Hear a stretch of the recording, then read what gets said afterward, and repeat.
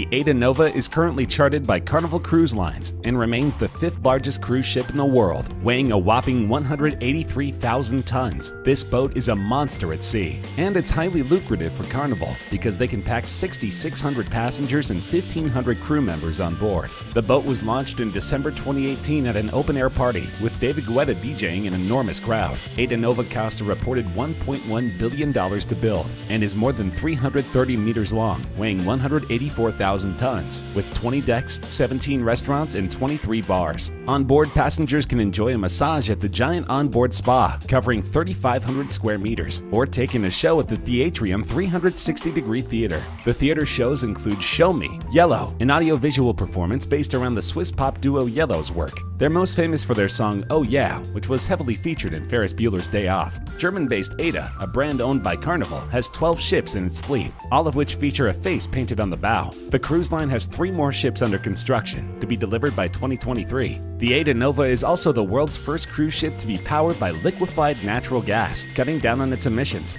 After hitting several ports in northern Europe, the monolithic cruise ship will be offering cruises around the Canaries, from Gran Canaria and Tenerife weekly. Apart from those, the ports of the islands of Madeira, Fuerteventura, and Lanzarote will be visited. Unfortunately, the release of the ship was delayed due to a serious accident while the ship was still under construction. Fire erupted in cabins of the brand new mega cruise ship in the Netherlands early in the morning of October 24th. Many fire engines were deployed. The fire was reportedly restricted to one cabin only and extinguished. Authorities suspected arson, and a criminal investigation is still in place, though no arrests have been made. In case you're considering adding an Aida Nova to your fleet, they do not come cheap. This particular model cost about $950 million just for construction. This doesn't include promotion, insurance, and other hidden costs. Though it will take Carnival many years to make up this enormous investment, it's clear they have one of the most impressive ships at sea.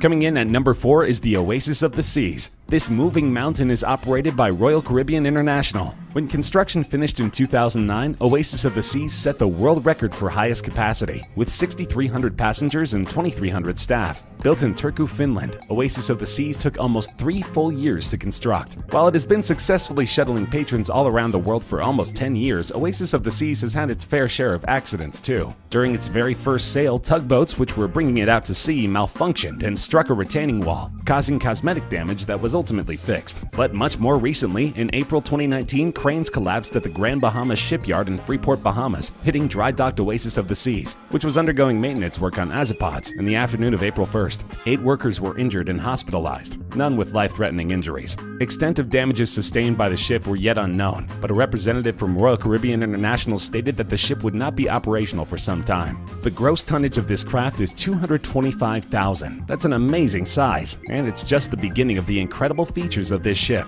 First of all, it was built with the environment in mind. There are $750,000 worth of solar panels distributed around the ship. The boat is divided into seven distinct neighborhoods. Each of these has a central theme. The boat has a series of firsts in entertainment. It boasts a rock climbing wall, in addition to the world's first at sea zip line and carousel. Add to this a wave pool, scuba diving certification courses, dozens of five star restaurants, and a theater featuring Cats the Musical, ice skating, and a rendition of Disney's Frozen. And you have the makings of an incredible vacation for the whole family. But there's even more packed on this floating fortress. It also includes a miniature golf course, multiple nightclubs, several bars and lounges, a karaoke club, comedy club, five swimming pools, volleyball and basketball courts, youth zones, and nurseries for children. Many of the ship's interiors were extensively decorated by muralist Clarissa Parrish. And Royal Caribbean has partnered with the Make a Wish Foundation to help improve the lives of terminally ill children. The ship was formally named on November 30th, 2009 during a charity sailing for Make a Wish Foundation. At this ceremony, the ship was sponsored by seven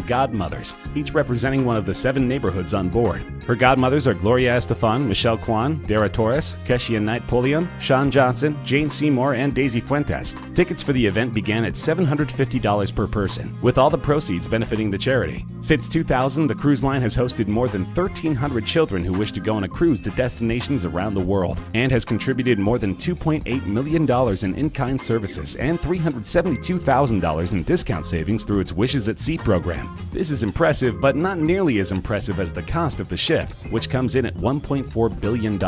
And those aren't the only stats surrounding this ship. 110,231 pounds of ice cubes are made daily. Its Central Park has 12,500 plants, 62 vine plants, 56 trees, and bamboo. The Aqua Theater pool is 17.9 feet deep and is one of the largest pools at sea. In order to quench the thirst of its passengers, 4.7 million pounds of fresh water are consumed every 24 hours. To decorate the ship, there are 7,000 works of specially commissioned art. There are 20 chefs, 222 cooks, and 102 sanitation and cleaning culinary crew. All breads and pastries are made fresh on board. The bakery has a machine that makes 4,000 rolls an hour. And finally, the consumption in an average week includes 15,600 pounds of beef, 16,000 pounds of chicken, 18,000 pounds of potatoes, 8,000 gallons of ice cream, 10,200 bottles of beer, 86,400 eggs, 45,000 pounds of fresh fruit, 62,000 pounds of fresh vegetables, 2,225 bottles of wine, 3,500 bottles of water, and 18,000 slices of pizza.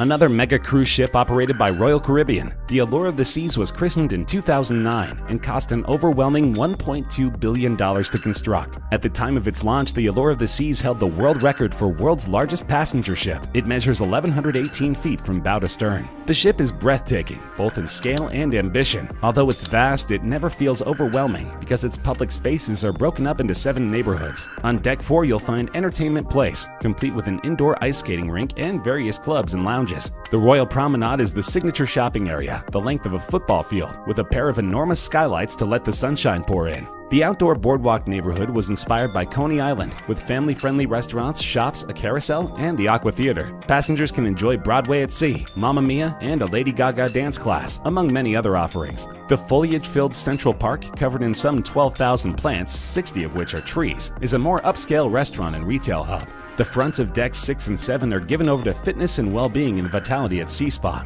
Deck 14 is all about the kids and Adventure Ocean. And at the back of the ship, right up on Deck 15, you have the sports area, complete with Flow Rider surf simulators, a zip line, mini golf, ping pong, and basketball courts. Identical in many ways to both Oasis of the Seas and Harmony of the Seas, this craft can hold 6,300 passengers and 2,300 staff. Its main port of call is Miami, while it services the Caribbean. However, for one season it was based out of Barcelona and toured around the Mediterranean. In terms of technical specs, the 12,000-ton ship has a height of 213 feet above the waterline, with a maximum beam of 154 feet. It is propelled by three electric azimuth thrusters of 20 megawatts each and Wärtsilä diesel engines.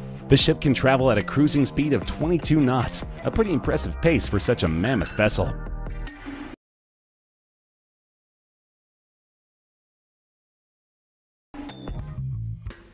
Ordered in 2012 and completed in 2015, Harmony of the Seas is another sister ship in the Royal Caribbean fleet. It was briefly the largest ship in the world, measuring 226,000 tons. Because cruise ships are inherently very wasteful and inefficient, Royal Caribbean attempted to make Harmony of the Seas more streamlined than its sister ships. Harmony of the Seas is 20% more energy efficient than her sister ships Oasis of the Seas and Allure of the Seas. Small air bubbles from the keel reduce drag and thus fuel consumption by 7 to 8%, and a smooth hull surface further reduces resistance. The bubble system also reduces propeller noise. LED and fluorescent lamps replace incandescent light bulbs, reducing power consumption and the need for air conditioning. The engine system uses a waste heat recovery system and drives three Azipod propellers. On top of a series of world-class restaurants, clubs, and bars, Harmony at Sea features an amazing array of attractions. The cruise ship offers three multi-story water slides with twists and turns over Central Park 10 decks below. The full-service Vitality Spa features a thermal suite and an extensive treatment menu, while a state-of-the-art fitness center offers yoga and Tai Chi classes. The guests are also offered four pools, including the Solarium, 10 whirlpools, two Flowrider surf simulators, two rock climbing walls, a full-size basketball court, an ice skating rink, and a mini golf course. Likewise, the entertainment on board, whether small scale like an acoustic guitarist or larger than life like the production of Grease, is simply outstanding. The ship's restaurants offer everything from low key grab and go meals to multi course hours long culinary extravaganzas. They'll be prepared for a variety of quality, with the extra cost venues generally being much better. Since 2016, there have been three fatalities on board. One involved a lifeboat falling and crushing a crew member and seriously injuring four others. The next involved a performer falling overboard, never to be recovered. And finally, a 16 year old boy fell to his death from the fifth floor. They found his body but were unable to resuscitate him.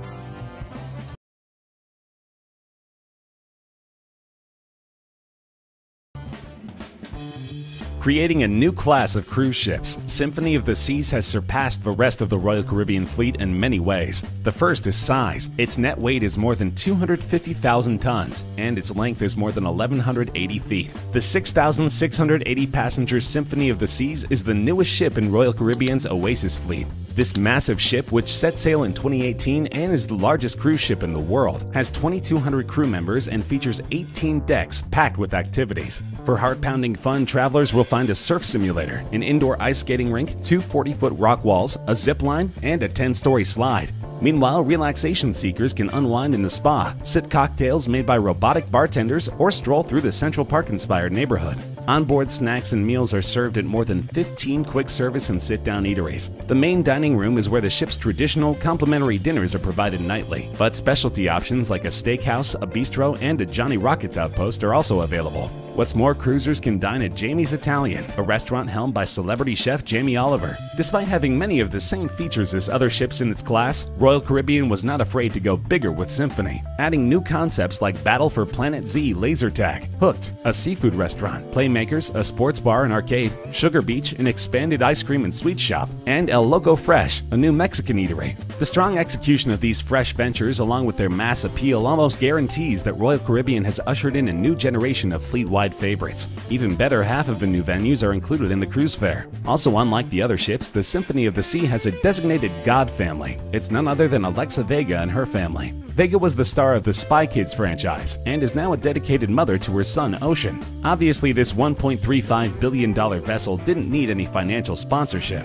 Vega and her family are merely meant to be the spiritual sponsors of the boat. This comes from old nautical superstition but still exists to this day. Their sponsorship must be working because so far there have been no serious accidents on board.